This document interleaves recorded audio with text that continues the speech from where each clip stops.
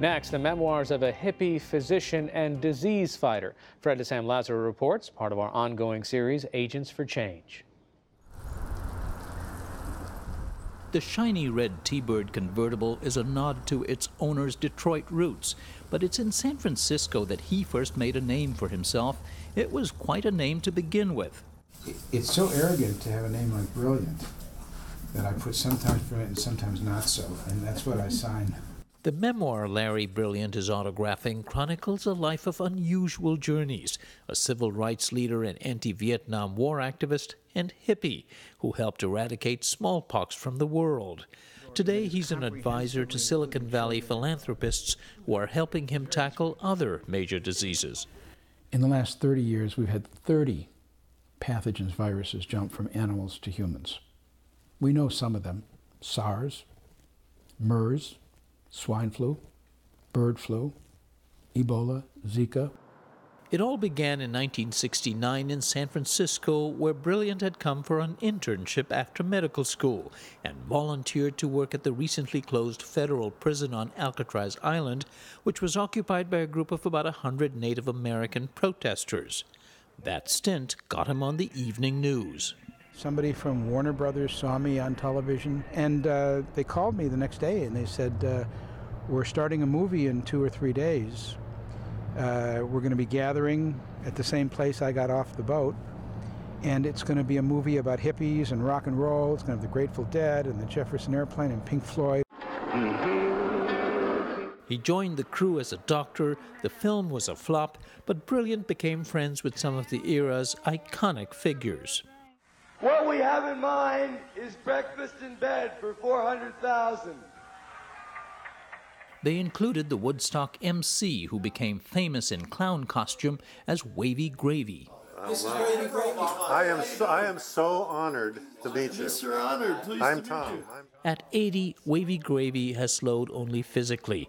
The friends still gather often and recount their adventures, including a journey across Europe toward India. They had planned to feed flood victims in what was then East Pakistan, now Bangladesh. And the idea was that we had so much media from doing the free kitchen at Woodstock that if we got there and started uh, feeding people, that they would embarrass the government. My God, there's hippies doing it. We better do it better. For Larry Brilliant and his wife Girija, this was a transformative journey. They became disciples of a spiritual leader or guru, Neem Karoli Baba. Were you able to converse with him in Hindi? Yeah, I mean, yeah. Hindi was a big asset for the assignment the guru gave him to help eradicate smallpox in India and Bangladesh, which were among the last holdouts for a virus that had killed half a billion people through history. Bad disease, most people thought it could never be eradicated. We had had a vaccine for 200 years. And what we were doing is we were vaccinating everybody. That strategy worked in the West and developed countries, but could never work in India, he says, with a population then of 600 million people, some 20 million of whom were on a bus or train on any given day. The hippie doctor coaxed his way into the World Health Organization team that took a different approach, tracking down every single infected person and vaccinating everyone around them, creating a so called ring of immunity so the virus couldn't spread. It was a Herculean task. We had to visit every house in India every month for 20 months. We made 2 billion house calls, 150,000 people, doctors from 170 countries. Smallpox became the first disease ever eradicated from the planet. Brilliant went on to become a leading expert on infectious disease, a consultant to the White House most recently when Ebola threatened to escalate. What is it going to take to prevent an outbreak? Today, Larry Brilliant chairs a group called the Skoll Global Threats Fund, which focuses on issues like climate change, nuclear proliferation, and pandemics. It is an affiliate of the Skoll Foundation, which also helps fund the NewsHour. It's about detect and report. These epidemiologists are setting up pilot studies to gather data in 28 countries, trying to determine early patterns of how a disease breaks out. Wouldn't you like to create advisory panels and partnerships with tech companies, major universities, EPID departments. Brilliant has raised millions of philanthropic dollars for other efforts that include the Seva Foundation, an eye care charity now in several countries that he started with Wavy Gravy.